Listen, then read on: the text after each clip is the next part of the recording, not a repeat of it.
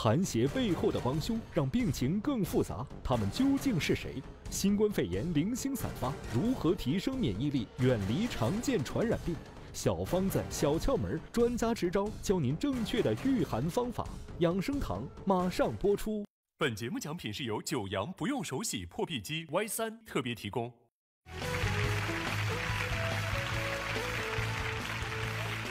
好，您现在正在收看的是北京卫视为您播出的养生堂节目，我是陈赛。看哈，我觉得最近叔叔阿姨应该都有感触，怎么回事儿呢？这个天儿啊，是真的有点冷。哎，对。嗯，大家出门的时候，这不自觉的就穿的比较多了。咱们来一起看一张图，跟大家分享一下。你看，强寒潮的过程当中，有很多的城市都经历了最低温度，北京也出现了。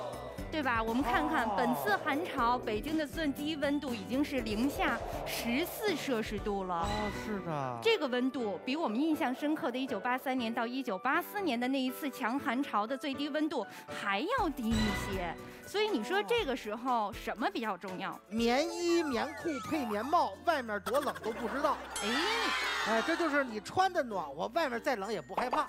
你说的没错哈，但是防寒保暖的背后是不是它还有很重要的意义存在？当然了，啊，最重要就是什么？怕感冒啊？为啥呀？你看看，首先这个感冒啊、发烧啊，人人都害怕，它容易生病啊。嗯。第二呢，现在这个新冠肺炎，嗯，还是这个零星散发状，万一自己得上了，就紧张啊，嗯对吧？嗯嗯。就平时冬天的时候，这什么感冒、流感呀，就挺难应对的，尤其是对于老年人来说。是。然后。今年你看，还有新冠疫情参与其中，可不是吗？大家一怕混淆，二怕交叉感染。对呀。那这么说，永志，你是不是认为这寒就是头号敌人？哎，就是因为这寒才导致我们这个发烧啊、感冒啊、咳嗽啊、嗯、难受啊。嗯。哎，这整整的罪状都怪这寒。浅薄啊！我就说你浅薄。怎么了又？这寒呢，它确实是一个最大的敌人。但是今天要做客我们养人堂的权威专。专家就跟我说了，说这寒之所以坏呀，是因为它有好几个特别隐秘的帮凶。韩还有帮凶？对，正是因为他有了这几个非常隐秘的帮凶，所以呢，他能祸害的人更多。而且每一个患病的人，他的病可能都不好治愈。那咱赶紧把这帮凶给揪出来呀！咱把帮凶揪出来，这寒不就势单力薄了吗？那就马上请出我们今天做客养生堂的专家，也是我们的老朋友了，来自我们北京中医医院呼吸科的主任王玉光教授，掌声欢迎！欢迎王老师，有请。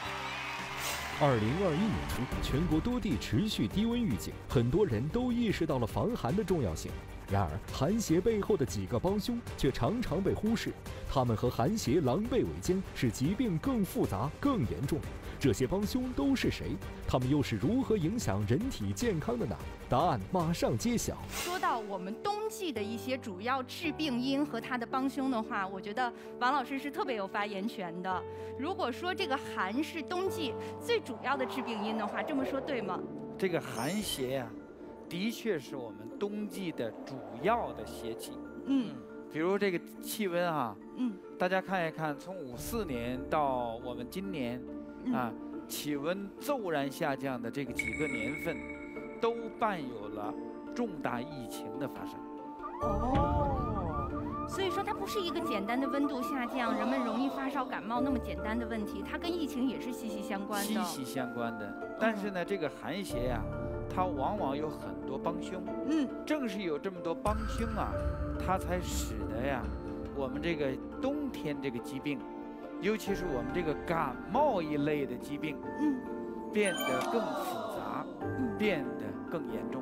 你比如说今年哈，就刚刚发生的一个病例，就是气温骤降，嗯，然后从原来的零上几度。最高气温呢降到了零下一度，嗯，然后最低气温呢降到了刚刚讲零下十四，到晚上呢甚至到零下十五度。那么这个老人呢原来有这个糖尿病，嗯，有这个冠心病，但是就因为有这个底子，而且明显受凉了，而且浑身发冷，那么就用什么药呢？用驱寒的药吧，就连着吃了三四次，嗯，结果这汗呢倒是出来了。身上也不冷了，嗯，但是体温飙升，很快就升到了三十九度，而且咳喘都上来了，就是我们讲那些帮凶，嗯，就都出来了，嗯，咳喘明显加重，然后照个片子，严重的肺部感染。这个病例就是因为患者本身他可能对于这个寒的认识不足，对。他给自己的这种调理的方式不佳，没有治好小感冒、小风寒，嗯，反而加重了病情，严重到了肺炎的程度。很多人都认为我这个感冒了，我就就是冷了吗？对，我冷的话，我就吃点这个发热的，哎，让自己暖和起来，我是不是就好了？对，是的，很多人都这么认为，但没想到这个帮凶恰恰害了他。我觉得这说明了什么呀？说明了冬季防寒保暖人人都知道，但其实，在人人都知道的防寒保暖的背后，可能步步有误区，处处有陷阱。到底这个寒的几个帮凶是什么？我们又应该如何应对它的帮凶呢？看在我们的舞台一侧哈，其实这三个帮凶都已经站好了，而且呢，他们有三个描述词，分别是四季有、想不到、北方多。嚯！这背后的提示是什么？咱们先来看第一个，叫四季有，有一个寒的帮凶是四季都有，都有的。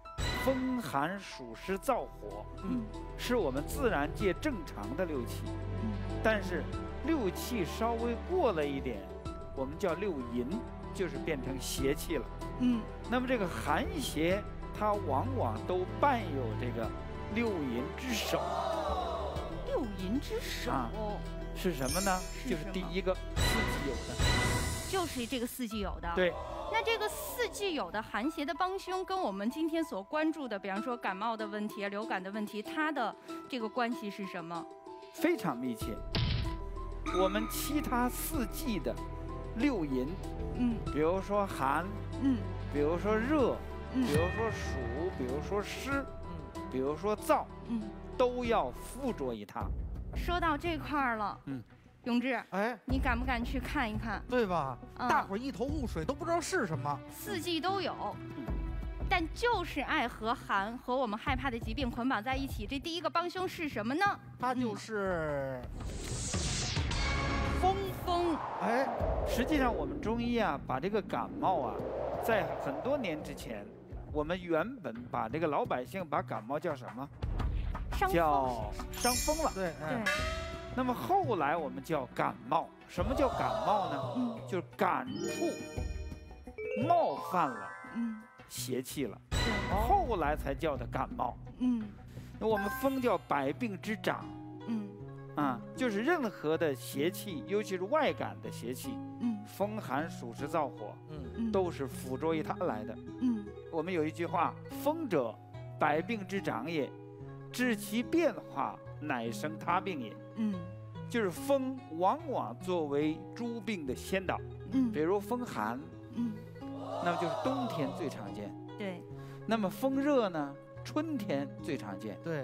那么暑加风呢？就是夏天常见。嗯。那么燥加风呢？就是秋天。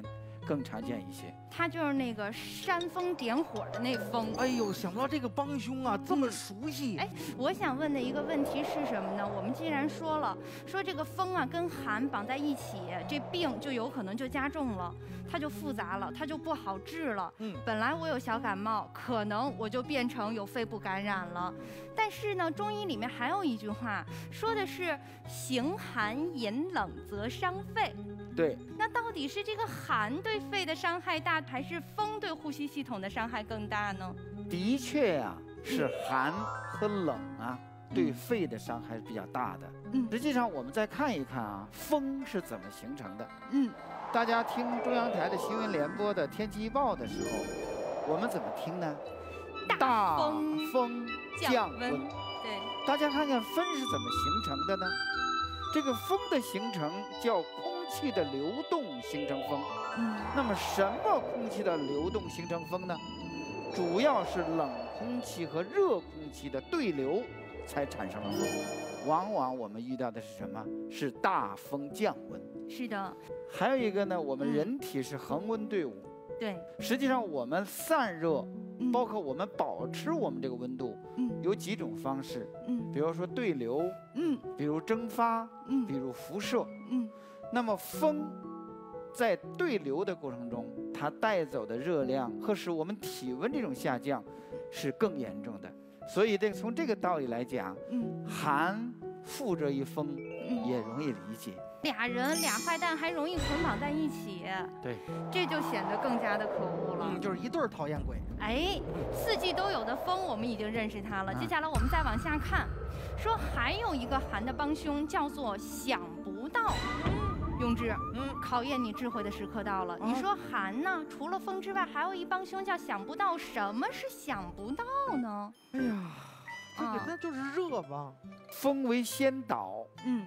然后呢，往往在冬天呢，最容易夹的或为主的是寒，是冷。嗯。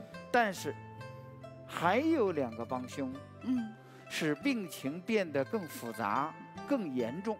哦。而且这两个帮凶往往会导致人体的免疫力、人体的正气是下降的。所以你看，那个想不到的那个北方多的寒邪的两个帮凶，他们最坏的地方就是损害我们人体的正气和免疫力。哦。而一旦我们的正气不足，免疫力下降，那所有我们害怕的这些疾病可能都会随之而来了。对。所以，到底那个想不到的帮凶是什么？永志去帮我们揭晓一下。好嘞。嗯。想不到背后隐藏的是什么呢？嗯，它就是。热，天儿那么冷，热从何处来呀？其实这个热呀，跟我们现代人的这种生活环境，嗯，包括我们这个文明的程度有一定的关系。你比如说，我们在这里，嗯，我们室内的气温是多少？这我觉得至少得二十五度以上了。那室外呢？室外今天肯定零下了。那么在这种极寒的环境气候下。我们里边是不是有热？哦，所以您的意思，我们应该搬到外头去住啊？不是这意思啊？好漂亮啊！这样就都一块寒了嘛啊？对，所以一个是我们的室内，比方说有暖气，有一些供暖设备、采暖设备的参与。嗯，还有一个问题，嗯，我们一讲冷了，人体怎么对抗它？得多吃东西吧。而且要吃什么样的东西都？热量高的。对呀，嗯，那比如我们北京讲立冬了吃什么？涮肉。冬至了吃什么？饺子。啊，这种高能量的，这种高热量的，它在我们人体产生的是什么？热，是热。嗯。还有一个问题，就是我们从室内外的温差来讲，嗯，那么看看我们今天在这个环境跟室外的温差会产生多少度呢？至少我觉得得二十五度以上了。我们中医有一个名称叫“里热生外寒”，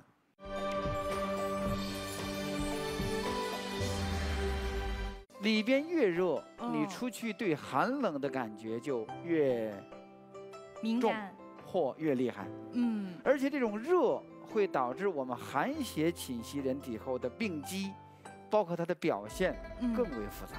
是不是可以理解为，如果我有内热，我反而更容易外感风寒？对，越有内热，越容易招致外寒。就是两个敌人里应外合了。对，冬季往往这个寒流到来，那么它的早晚的温差还特别大。对，啊，这种温差也形成了一个什么？人体的对它的不耐受。其实人体呀，嗯，也不怕特别热，嗯，也不怕特别冷。为什么？它有个调节功能。你得给我适应的时间呀。嗯。但是关键就是什么？忽冷忽热。对。这种折腾是人体最受不了的折腾。当我们看到天气预报有波峰有波谷，忽上忽下，开始抽风的时刻，其实也就意味着我们容易有内热和外感风寒交替危害我们的时候。而且就会导致什么？复杂。嗯。导致我们辨不清哪些是寒。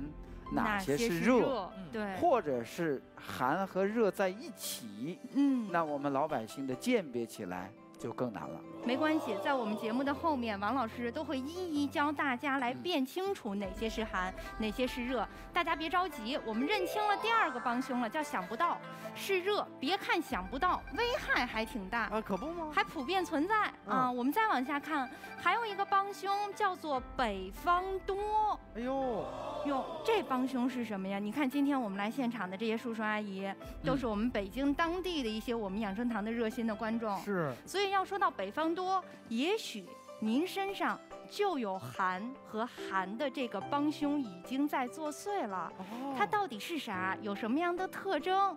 这样吧，永志，我给你个好机会，好，向王老师拜师学艺。可以啊，王老师啊，给你一点儿这个我们叫什么呢？这个帮凶的要义。在座的很多也带着这个帮凶在这里呢。嗯，所以我给你个锦囊，你去找找吧。好好好。高人给锦囊必定有妙处，所以呢，我拿这个锦囊去找一找，到底帮凶在哪儿？好好找。我看看帮凶跟哪儿呢？啊，阿姨别害怕哈啊，嗯，来，我我观察一下哈，阿姨这样把手给我，我看看啊，看您这个，哎，您这个发财纹不错啊，不看手相呢，我这，来来看您这个，来来看看阿姨您这个手相，哎呦，您这手。这是发财的手哈，好好手啊！哎呦，看您这手，您这皮肤保养的真好啊！我看看第二排的阿姨怎么样哈？来，阿姨，我看您这手，阿姨，我可不是吓唬您，您可能还真符合我要找的标准。这样吧，您跟我走一趟，可能您身上就有帮凶。哟，别害怕啊，别害怕，没事哈，这帮凶给揪出来，咱们就好好对付他啊！走。找着中招的阿姨了，哎，找着了。哎，你现在找到的是说阿姨可能就中了我们说的第三招，北方多见的，是的，寒的帮凶。嗯，它到底是什么？阿姨肯定这会儿心里打鼓了，是吧？得害怕了。对，啊，咱别难为阿姨了，咱先为大家揭晓一下这个北方多的寒的帮凶是啥。好，咱们一会儿看一看啊，咱们看看。来看看北方多的帮凶，他是寒邪的第三个帮凶究竟是谁？预防呼吸系统疾病哪些方法不可不知？不要走开，广告回来，答案马上揭晓。来看看北方多的帮凶，他是燥燥。说到这个燥的话，咱是不是先看看刚才王老师给你的那指示是啥？我就是通过这锦囊才发现这阿姨啊蛛丝马迹。哦，哎，来看看这个锦囊写的是什么呢？就是皮肤干裂。那我们看看阿姨的手，嗯，永志跟你的对比对比。我这手。哎呀，嗯。那确实是啊，永志那手可能因为油吃的多，确实是嫩过了。什么叫油吃的多？阿 姨，这个确实是，我觉得有可能是燥的问题哈，摸上去确实挺干燥的。嗯，嗯，我先问问阿姨吧，这入冬以来觉得家里燥吗？没觉得干燥。爱喝水吗？爱喝水。啊，那不干燥那老喝水。那我嘴嘴可那个干呢。嗨，不是不干燥吗？这会儿是 家里都不觉得干燥，就是嗓子干燥。可能啊，很多人都忽略这个问题。是的。哎，就觉着，比如说口干舌燥，这因为冬天嘛，这是常见现象。是的。所以多喝点水啊，好像多喝多喝点水对身体还有好处呢，对不对？可是我们家人他们都没有我喝水喝的多，他们都不觉得。我老觉得我这嗓子干。实际上啊，我们是在通过他皮肤的干燥，和通过他反映的口干舌燥。再找他的另一个帮凶，嗯，存在不存在燥？嗯，大部分的北方地区，我们都存在一个干燥多风少雨雪。对，比如今年好像就有一场冬雪啊，还不大，还不大。嗯，到现在为止啊，我们很快就进入二九或者三九了。对，这个时候一个典型的气候特点，嗯，就是干燥多风少雨雪。嗯，这只是一个外环境。每天早晨起来，我们最难受的症状就是口干舌燥。是的，实际上这跟我们暖气包括加热，嗯，各种情况导致的一个室内的人为的导致一种燥。对，还有一种燥就是什么呢？老年人，往往到了五六十岁以后，人年四十而阴气自伴，像您这样的，嗯，外边有燥。室内有燥，你体内还有内燥，那么这种情况就会极容易附着于寒，附着于风，导致我们感冒多发。嗯，我们中医还有一句道理叫“肺喜润而恶燥”，它对于这种燥邪也是很难耐受的。阿姨，您过去意识到自己体内有燥的问题了吗？没意识到，我就觉得我自己渴就喝水呗。哦，那现在意识到了，是不是想听听应该咋办？那就得找大夫去看看病呗。嗯，也不一定，可能听到节目的后半程，您就找着方法了。咱们好好的听一下，好不好？感谢阿姨的参与，送上我们的精美奖品一份。阿姨，鲁花为您送健康了。鲁花高油酸花生油，油酸高，抗氧化，青春派，健康油，祝您越吃越年轻。阿姨，我们祝您越吃越年轻哈。咱们先去休息一下。好的，好的，谢谢，谢谢，谢谢阿姨。我觉得阿姨可能就是我们千万观众当中的一个典型代表，体内有燥，但是呢没有重视这问题，觉得问题不大，不就是皮肤干点吗？不就是多喝点水吗？但是有可能问题没有那么简单，这个燥对于我们病情而言也是会产生很坏的影响。对，冬季，嗯，老年人这种咳喘，啊，他最难受的就是一种痰的问题。嗯，这个痰什么问题呢？就是难卡出来。嗯。又黏又咸，然后又干，对，咳半天咳不出来，嗯，尤其是早晨，我们这个老慢支的病人，我们的 COPD 的病人，包括我们很多间质病的病人，就有这慢性的咳喘病人，这种燥对他的烦扰是非常厉害的。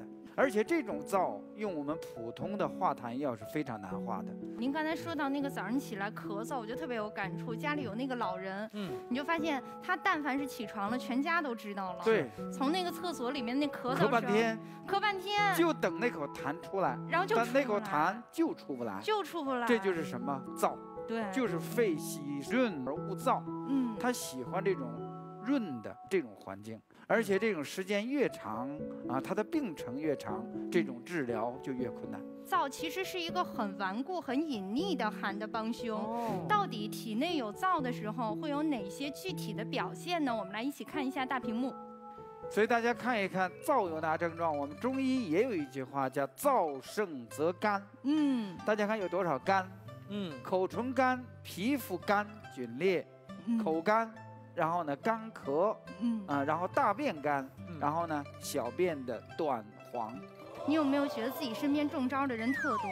因为我身边都是北方人呐，北方人他都这样啊。嗯，好像这个一起一到这秋冬季节，就马上这个症状就特别明显。是的。不瞒大伙儿说，我有时候哎，就感觉自己有点燥。嗯，小便发黄。嗯啊，你不仅有这些，你主要还有内心的躁动不安。啊，这毕竟是青春期嘛。那么大家明白了，现在知道了寒邪，对，也知道了寒邪的帮凶。是的，有这种热，有这种燥。那么我们回顾一下，嗯，我们看一看我们周围的人群，嗯，哪些人容易在冬天中招呢？一个老人，一个小孩儿。为什么儿童和老人容易中招呢？从我们的现代医学对人体的解剖学看一看，就更明白了。大家看一看啊，这是人体的鼻腔，最大的功能除了过滤和清洁以外，嗯，还有什么呢？嗯，加温和加湿。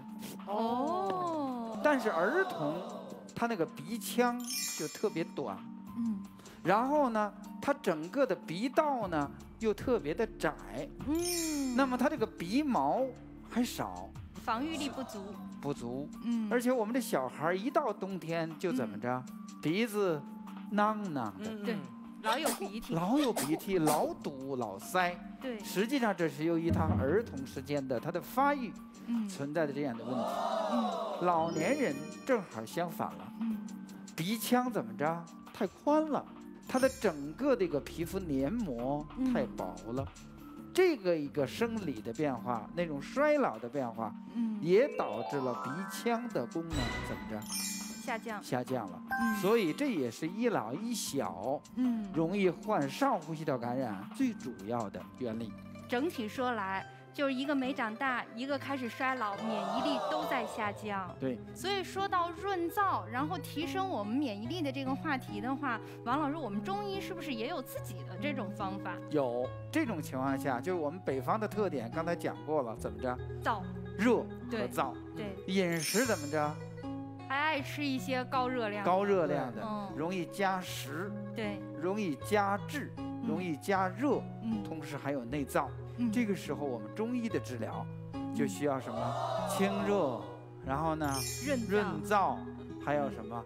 散寒。今天王老师也特实惠、特实在，他给我们带来了一个行之有效的茶饮方。哦，对于大家润燥来说，然后对于大家想要提升自身的抵抗力、免疫力来说，都是非常不错的选择。到底是什么？咱仨先去看看吧。嗯嗯。我们看到了，我们已经把这个王老师带来的茶饮方大家备好了。现场有没有哪位叔叔阿姨说，我就是觉得我自己这燥邪特严重？我皮肤又干，我又爱口渴，然后家里那加湿器也没顾上开，有没有想来上来替大家尝一尝的？粉色毛衣的阿姨，您拿着话筒上，您是觉得自己有燥的问题是吗？老特别急躁，完了那个上午火特别大，这眼睛都是那个那个痒的，耳朵也痒，对，完了就是冒火，冒火，对，嘴也特别干。您说的哈，起急冒火。然后烦，对，然后眼睛的胀，然后口干口苦，对，这个全是什么？内热和内燥。嗯，但这种情况下还怎么着？特别怕冷。对。还怎么着呢？特别容易感冒。对。一出门就感冒，是这样吧？对，是。你看，就是这样的通病。因为里面那个间隙已经有了，热和燥都等着呢。外面这风寒，这敌人一来，马上内火应。中招，马上中招！现在就差一个节气号了哈，就差这杯茶饮了。来来来，您您喝喝尝尝这个味道。有枸杞，呃，没有没有没有没有，没有嗯，枸杞呀助内热，嗯，你看我们这个方子的处理就特别好。到底里面有什么？我们稍后揭晓。感谢阿姨的参与，我们来一起看一下。王老师帮我们解读一下吧。其实这个方子啊，是针对北京地区的冬季的。整个的外寒、内热和内燥的特点，啊，我们这个专家团团体，尤其是我们北京中华大学谷晓红书记，啊，为主体设计的冬季的养肺方，改变我们的内环境，嗯，啊，来改善我们人体的这种适应环境的能力，嗯，啊，扶助正气，同时还有祛邪的作用。明白。大家看这个方子里边呢，沙参和元参是润燥的。嗯，芦根也有润燥的作用。嗯，那么这个银花和元参是清热的。嗯，那么这里边的生姜、陈皮和苍术是散寒的。那么桔梗是宣肺的，非常适合于我们北京地区的这些易感人群的这种感冒的预防和治疗，尤其适合于老人和孩子的自身特点。明白了，不光说你有可能有这种热燥的轻微的感冒，你可以喝调理一下。嗯，最主要的是我想预防，我这会儿没什么大问题。然后我觉得家里有点干燥，我想防防感冒，用它来润燥，然后防寒、防感冒都没问题。嗯，有什么禁忌吗？禁忌没有，这个方子很平和。明白，对，这就太好了。我觉得这会儿坐在家里把方子抄一下，马上这水煮起来，咱全家喝上，润润燥，防防感冒，效果真的特好。刚才说到了感冒哈，我有一些感触，咱们回到中间聊吧。好，我今年有一点感触，我不知道你感觉到了没有？嗯，好像比方说我爸以前特爱感冒，一冬天感冒好多回，但是今年好像。就好些了，哎，好像今年啊，整体感冒的人群没有那么多。哎，王老师，作为我们这种临床的大夫的话，是不是感受会更深一些？你看我们干嘛呢？戴口罩啊。戴口罩了。嗯。另外我们呢？保持距离了。这我们在干嘛呢？我们在防疫。防新冠的。对。我们新冠防的也不错。嗯。但是我们防的最成功的是什么？流感。流感。嗯。今年的流感。在我们最近几年来，嗯，它的流行和活动度是最低的，嗯，这是跟我们的相关的防疫措施的实行是分不开的。勤洗手，戴口罩，嗯，社交距离，没错。嗯，因为有了这三点，今年进入秋冬以来，我们的这个流感肆虐的现象就得到了很好的控制。嗯，但是说到感冒，说到流感，说到新冠。其实他们的症状上啊，会有一些相似的地方，有的时候大家不是特别清楚的时候，容易混淆。但是如果我是感冒，我是流感，或者是我真的不幸是新冠的话，我们的防治和治疗的措施它是不一样的。到底应该如何简单的区分呢？接下来咱们通过道具，让王老师为我们讲解一下。实际上啊，我们每年呢这个流感啊，啊，它的损害是非常大的。所以在目前，虽然我们流感是一种活动度比较低的情况下，对，但是我们是绝不能松懈的。所以辨清自己是什么病依然非常非常的重要，太重要了。王老师，咱们帮大家辨一辨吧，这感冒、流感和新冠。我们这个感冒啊，四季都有，对，春夏秋冬，嗯。啊，那么流感对于北方地区是什么时候呢？主要是冬春季，嗯，尤其是在元旦的时候，往往是最高峰，哦，就是流感活动的高峰就在元旦前后，嗯，大概每年的三月份左右呢，流感基本在北方，嗯，啊就差不多的消亡或者灭迹了，季节性比较强，是的，啊，而且怎么着，传染性也比较强，对，但是我们还有一个。因为我们二零二零年是我们永远难忘的一年，是的。啊，嗯，那么这个新冠来讲，嗯，现在它既没有季节性，嗯，又没有地域性，是的，我们怎么辨别？嗯，这三种，大家看一看哈，嗯，感冒什么多呢？鼻涕多，非常多，鼻塞、流涕、打喷嚏。这是它最常见的，是的啊，最常见。一般一感冒就是肺纸，对啊。那么它的发烧呢，尤其是高体温，超过三十八度不多左右的很少。对。另外还有一个呢，它的浑身疼痛、全身中毒症状，疼啊、头疼啊、乏力，嗯，也很少。嗯。但是流感就存在什么呢？嗯。它相对于感冒来讲，鼻涕少，对。鼻塞流鼻涕少，但是什么呢？高烧，嗯，这个比较重，嗯。然后呢，浑身疼痛啊也比较重，嗯。周身疼痛啊，头疼啊，肌肉疼痛啊，嗯。然后乏力倦怠呀，这也很重，嗯。这个新冠大家看不一样了，嗯。它鼻塞流涕的也少。对，随着我们国家的这种筛查的力度的增加，对，我们核酸检测的啊这种早发现、早诊断，是的，啊，然后呢早治疗、及早的话，对，也非常少，是，甚至我们发现它的发烧比例跟流感是没法比的，很少，太少太少了。另外还有一个问题，怎么着呢？全身中毒症状也很少。哦，所以我们现在越来越认识到新冠的复杂性。是的，它比流感病毒来讲，嗯，要复杂，要难办的多了。我们看看，他是三少症状，这上哪儿抓他去啊？可不嘛。这没关系，这别着急，一会儿王老师也会给我们详解一下有关于新冠的问题。在此之前，先说说前面吧，因为比方说，我一旦有了新冠的一些典型症状，这不用说，我们要做的是什么？立马向所在的社区、最近的医院进行报告，进行相关的检测，不要延误自己的病情，这点非常非常重要，赶紧就医。但如果说我就是简单的感冒或者是流感的话，尤其是感冒哈，这很多叔叔阿姨他都是在家里自我调理，对，是吧？养生爱好者。哎，你看我们家就是这样。你们家都咋调的？我们家调就是打我姥姥传给我妈呢，就是喝这个红糖水。哦。我妈传给我呢，就是喝姜丝可乐。哦啊？怎么怎么变了？变异了？都差不多嘛。啊，反正就是甜丝丝的，有点姜，然后反正就有点好处。哦。但是好像这个这个喝完以后啊，它的只管。发热，它不能解决感冒这个问题。红糖姜丝，这应该是很多叔叔阿姨治疗感冒在家自我调理的方法。这方法对吗？实际上，我们刚才就跟我们刚才讲的，我们老百姓大多以为，嗯，感冒就是什么？就是受凉了。对。那么我们把凉、把寒去除掉就行了。对。实际上不是这样的。嗯。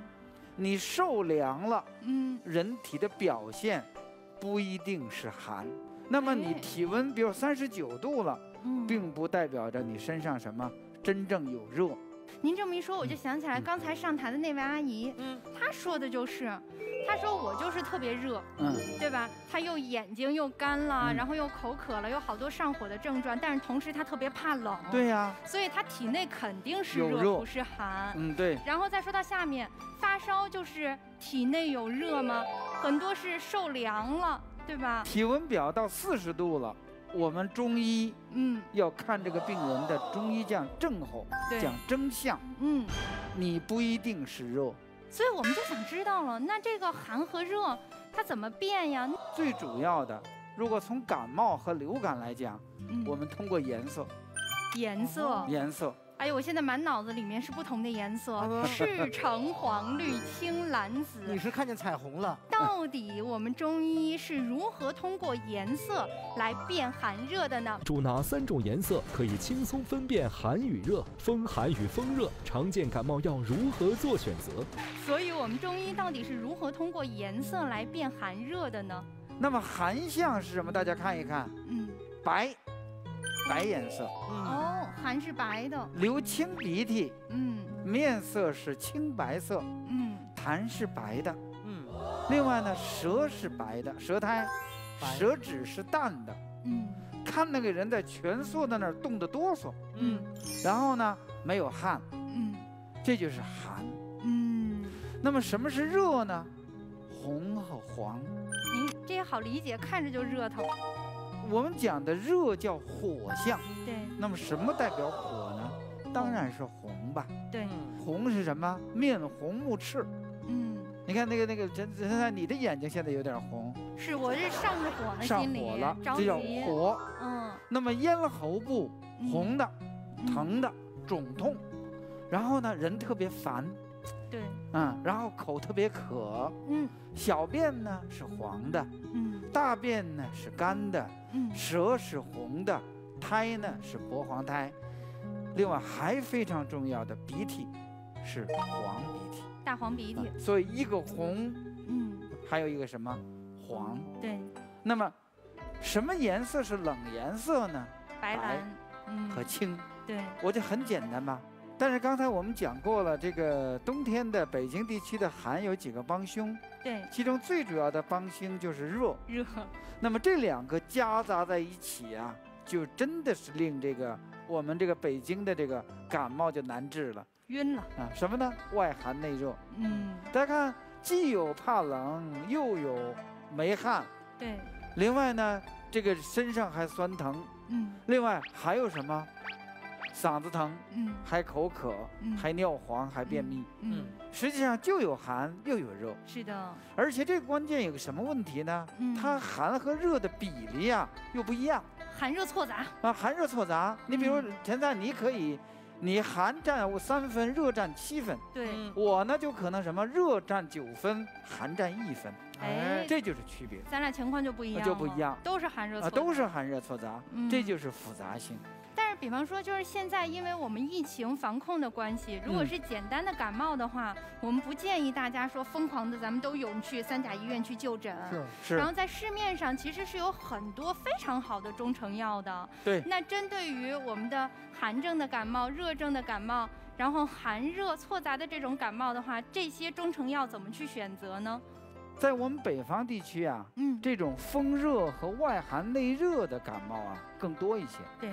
所以，我们中成药里边啊，一般治疗风热的和外寒内热的药物居多。嗯，比如所有的我们讲银翘类的，嗯，桑菊类的，你听听什么桑菊感冒片，是。银翘解毒丸、双黄连，什么蓝芩，蓝芩就是板蓝根、黄芩，对，这些药物一般是针对风热为主题的。是的，啊，带有解毒类的，嗯，比如疏风解毒，嗯，比如抗病毒口服液，嗯，什么清热解毒，嗯，等等等等，一般是治疗热毒的，嗯。但是某些药呢，比如我们讲的金花清感，嗯，比如莲花清瘟，嗯，它就照顾到了北京地区的外寒和内热。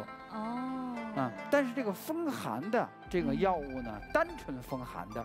我们刚才讲过了，帮凶很多。对，单纯风寒的就药就比较少。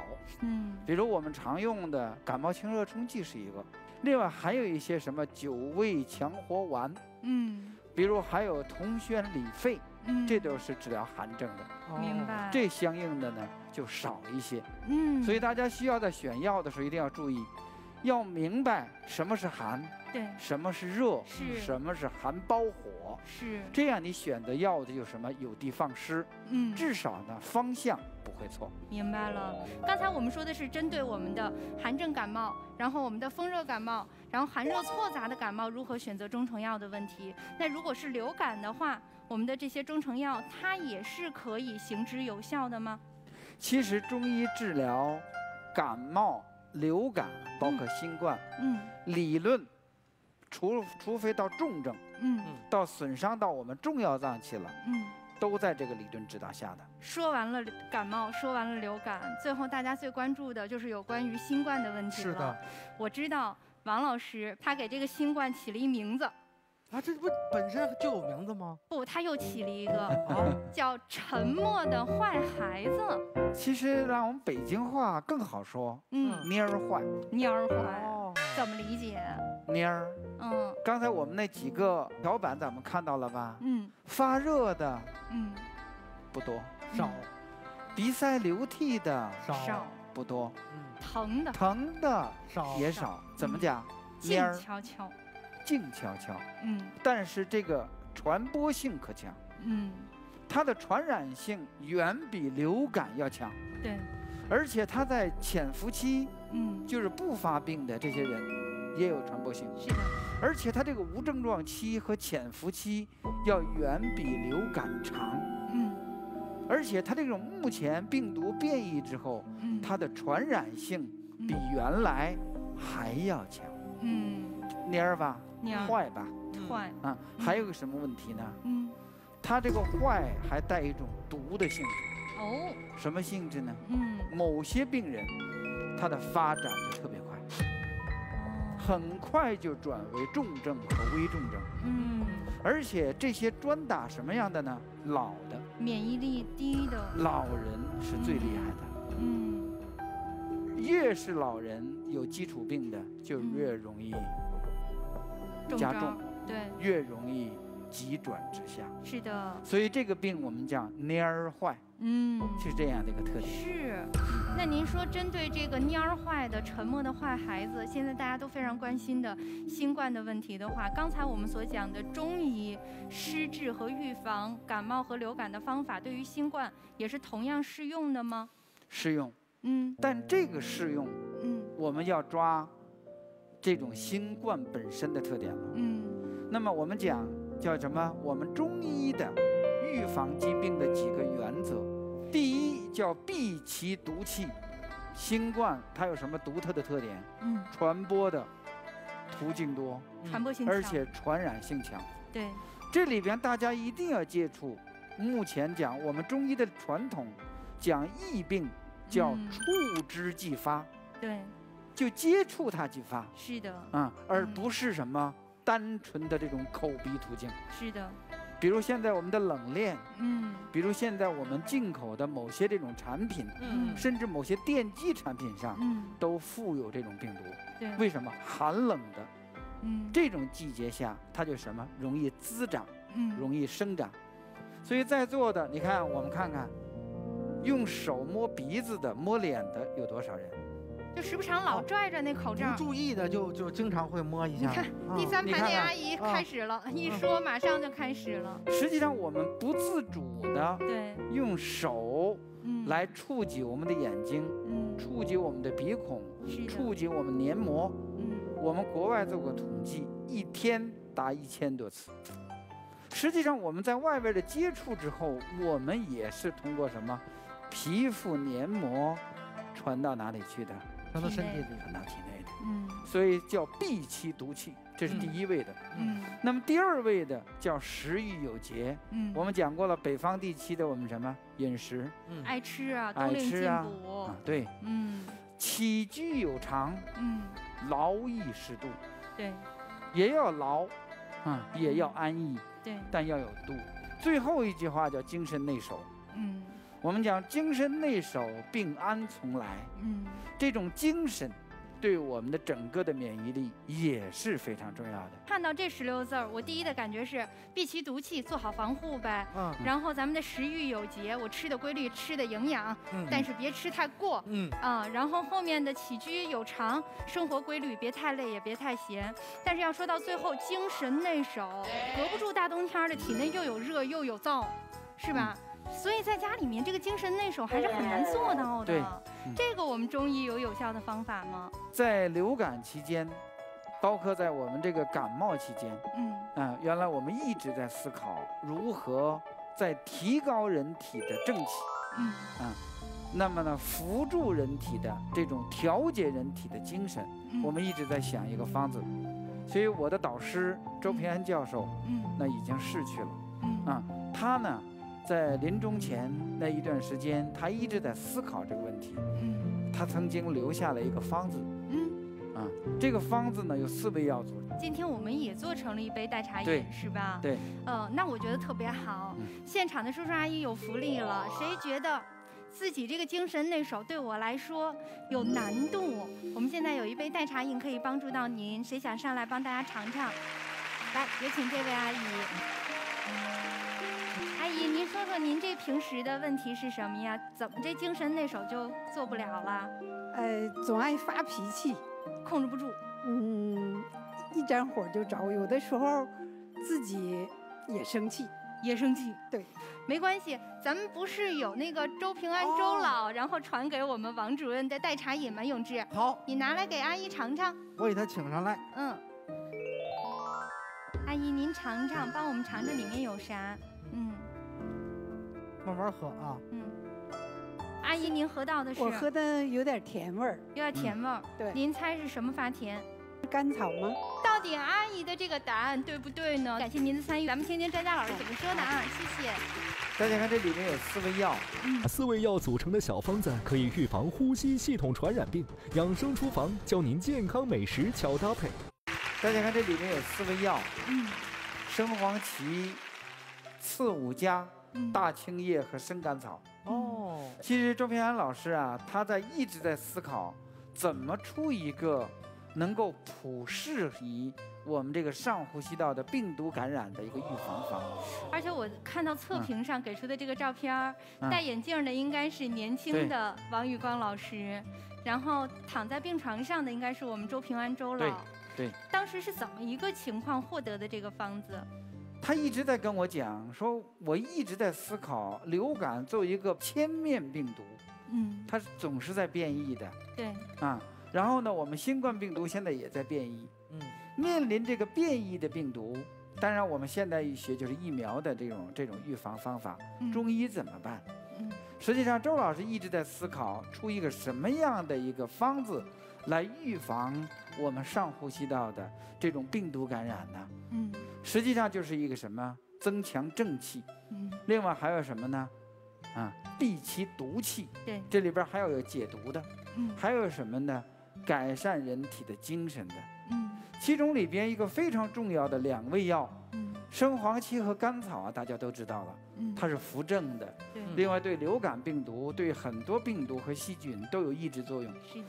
那么这个刺五加，这个药物，嗯，是能够调节人的精神的。嗯，它既能够补肺，又能够补肾，嗯，啊，同时还能够补心，对，还能够补脾，能够安神，既能够扶正，又能够安神，嗯。另外，这个大青叶这个药，自古到今都是治疗什么呢？瘟疫的一个药药，它既能清气分热，又能清血分热，嗯，又能够对疫毒和瘟疫起到非常重要的作用，嗯。实际上，这是周老师留给我们的预防上呼吸道感染一个通治方。会有什么禁忌吗？这个方子啊，不寒不热，嗯，不是特别寒，也不是特别热，嗯，也不是特别燥，要平。啊，比较平和，嗯，所以大适合于我们大部分人作为一个预防的这样的一个代茶饮或者是食疗方。太好了，有周老的这个可以帮助我们预防秋冬季上呼吸道感染的预防方。同时，在我们的节目当中，今天其实我们介绍了好几个小方子，是和有效预防我们流感也好、感冒也好的方法。没记清楚的话，都在我们养生堂的微信公众号里。我们要强调的是，冬季防寒保暖，防的不只是寒，嗯，还有风的问题，有热的问题，有燥的问题。但是无论面对感冒也好、流感也好、新冠也好，我们都有战胜他们的信心。嗯，同时，今天在我们的养生厨房里，也有一道有利于您健康的美味，到底是什么呢？咱们一起去看一下。养生厨房联合北京市疾病预防控制中心，为大家带来了冬季防疫情膳食要合理系列节目。那今天依然为您请来的是沙怡梅老师，欢迎沙老师。嗯，张老师，咱们上一期节目当中跟大家聊一聊。呃，粮谷类食物对我们身体免疫力的重要性。那我们今天要给大家推荐哪一类的食物呢？今天啊，咱们一起聊一聊肉蛋类食物，也是咱们均衡营养的必须的一环。肉蛋类食物是我们优质蛋白的良好来源。咱们啊，还是用木桶来演示咱们所需的各种营养。这水就相当于我们的免疫力。如果有哪一项，比如肉蛋类的缺乏了，它的木桶就会出现一个短板。咱们的注水就不能注得很高，这样呢，水越少，咱们的免疫力越低，咱们的健康也就受到的威胁越大。因此，大家一定要注意啊，所有的食物都要合理膳食，均衡营养，不要出现任何一个短板。今天啊，带来了扑克牌，这个的大小一会儿和咱们的说的食物的量密切相关。那不知道今天要推荐给大家什么呢？嗯，今天啊，给大家推荐一款鱼。这个鱼啊，是咱们传统的四大淡水鱼之一。这种鱼啊，它是啊高蛋白低脂肪，它的蛋白质呢能高达每百克二十克以上的蛋白质。咱们熟悉的草鱼每百克蛋白质才十六点六，这个比草鱼要高不少。优质蛋白对于咱们提高免疫力是十分需要。贾老师，咱们今天要用鱼做个什么美味啊？传统的鱼呢，我们不是炖就是煎炒。今儿个，咱们做一个不一样的，叫做美味鱼卷。但是呢，要不注意以下几点的话呢，我们做出的鱼肉又碎还没有弹性。首先呢，我们这个鱼片呢已经片成大片了，稍微的片厚一点点啊。片完以后呢，我们要把里边的馅料，刚才说了鱼卷嘛，要有一个馅料，我们先给它炒一下。锅热了以后呢，我们来入少许的油，先把香菇放进来。好，那这边煸炒的时候，我想问问沙老师，为什么我们需要补充一些优质蛋白，对我们提高免疫力非常重要呢？咱们大家都知道，各种食物摄入呢，可以合成抗体，抗体呢必须需要一种元素呢，就是我们的蛋白质。我们蛋白质呢缺乏了，会导致呢免疫力的降低。细菌、病毒都会对我们进行一些侵扰。那明白了，补充适量的优质蛋白呢，可以给我们的身体搭建一个保护的屏障。嗯，好，那这边香菇已经出来这种浓浓的菌香味儿了。嗯，没错。那这个时候放进来胡萝卜，完了以后呢，我们搭配点彩椒，一点点盐，入个底口，快速的大火给它爆炒。您这边先煸炒着，还想迫不及待问问沙老师，您给我们讲一讲这个扑克牌。是什么意思呢？一天中食用鱼类还有肉类的一个体积比，咱们呢大约一天啊吃瘦肉，相当于这么一副扑克牌这么一块儿。然后呢吃鱼也是去掉鱼骨，就是可食部纯鱼肉，或是虾也是一块扑克牌这么大小体积的就可以了。沙老师今天用这个扑克牌呢，非常形象的。描述出了我们每天应该摄入的这个肉蛋类食材的一个体积。嗯，首先呢，这个蔬菜我们炒完了以后呢，给它盛出来，到底怎么这鱼肉不破碎？一会儿你就知道答案了。那这个鱼肉呢，我们除了片厚一点以外呢，我们加点淡盐的葱姜水给它浸泡一下，让它更加的紧致有弹性，这是其一。其二呢，我这个呢加点蛋清给拌了一下，最后呢来点淀粉，让它。穿上一层薄薄的浆衣，也能够保证我们的鱼肉在煎制过程当中呢，因为它穿了衣服了，它就不会破碎了。为了增加我们的馅儿的一个粘结度啊，我们这里边加点肉馅儿，把蔬菜炒好以后呢，和我们肉馅儿搅拌在一起就可以了。下面呢，就让大家看看我如何把肉馅儿装进我们这个鱼片里边的。我们单取一个大片儿，把这个馅儿抹在这个鱼肉的底部，一定要靠里给它抹啊。好，这个时候呢，我们再把这个另一片鱼肉给它盖上，很完美的就把肉馅儿给包裹住了。贾老师那边在包着这个鱼卷的时候，想再问问沙老师，推荐的是一种鱼类，那除了它含有丰富的优质蛋白以外，还有什么营养呢？还含有丰富的硒和碘。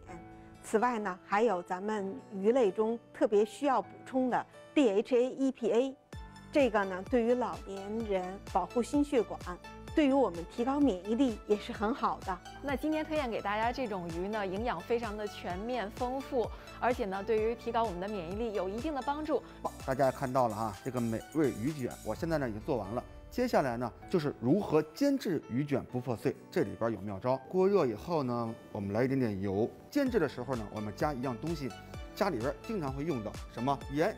在煎制的过程当中呢，能够快速的让鱼肉收缩起来，达到一个不容易破碎的一个效果。那贾老师这边煎制的鱼卷，我想呃问问沙老师，可能很多叔叔阿姨都非常关心，买回来的一些肉类呀或者海鲜类的食材，我们怎么样能够吃的安全又放心呢？你有没有什么一些小建议？世界卫生组织对于呢这个食品安全呢有五大要点，首先第一点呢就是是要保持清洁。第二呢是生熟分开，这生熟分开是很重要的。像在咱们家居要做到生熟刀分开，然后生熟的案板分开，还有呢咱们使用的生熟的盆，以及呢食物存放的时候，在冰箱里生熟也要分在不同的格子里。此外呢，食品要烧熟煮透，然后呢食品一定要保证安全的温度，使用清洁的水和原料。这都是我们的五大要点所必须的。电视机前的叔叔阿姨听清楚了没有？呃，大家都可以按照沙老师给我们提的方式来做，我这样我们就能够吃的安全又放心了。好，我们看到了这个鱼已经鼓起来了，鼓起来了，非常的漂亮。翻过来以后呢，保持在煎制一分钟就可以了啊。开始呢，我已经调好一个汁儿了，这个汁儿呢就是搁点蚝油，哎，搁点生抽，搁点醋，快速的淋在我们的表面。哇，看到没有？